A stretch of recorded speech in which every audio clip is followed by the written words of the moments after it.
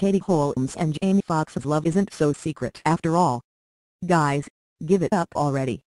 We know Katie Holmes and Jamie Foxx, who, for some reason, still seem to think their relationship is a secret, are spending a romantic weekend at the Chic Shutters on the Beach Hotel in Santa Monica, California.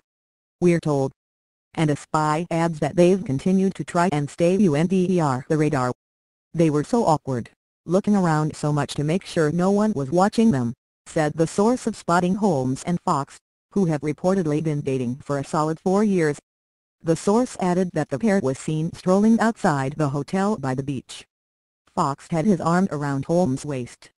But he kept the hood of a sweatshirt up to evade detection.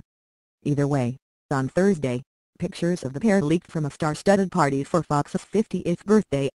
The couple was also caught standing together at a bash at Paramount Studios the night before, where they were joined by Foxx's daughters Corinne, 23, and Annalise, Kate, as well as A-list of guests including Leo DiCaprio, Snoop Dogg and Tobey Maguire, yet reported. The evening included performances by Foxx, Snoop, Ice Cube, Ludacris and even Foxx's gardener. According to X, Foxx had heard the gardener crooning in his yard and said, Wow, you sing.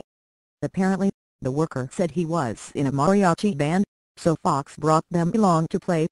When the grateful gardener announced at the bash, Thank you, Jamie, for letting me serve you for 15 years.